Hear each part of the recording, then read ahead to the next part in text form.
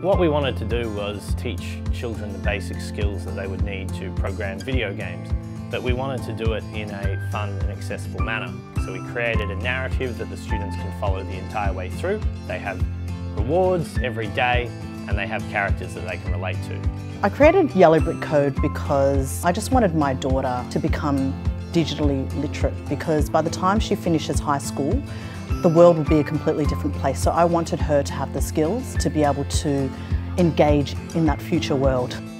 Seeing across the three days how they slowly develop into learning how to point and click and then to making a whole game by themselves enables them to express their creativity in new ways is just really inspiring. Coding is a completely new language that needs to be taught and with any language, the sooner you start and the earlier you become fluent, the easier it will be to pick up because in the future everything will be based in technology. We play a lot of fun games. What I've enjoyed the most is making the games. The teachers are really helpful.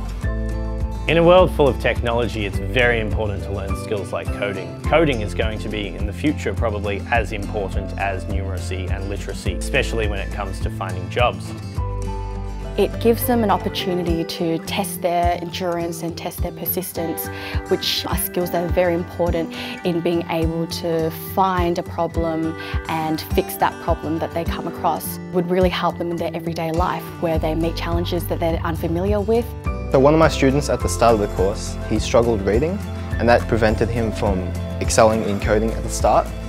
But after he got the hang of different colours and different blocks, that changed the game and enabled him to gain more confidence in how he code. And so even though he still struggles with reading, he can code a lot better now. They can be creators, they can be builders in the future and not just be consumers and to be able to solve a real problem that they feel is existing in the world and be able to solve it with technology.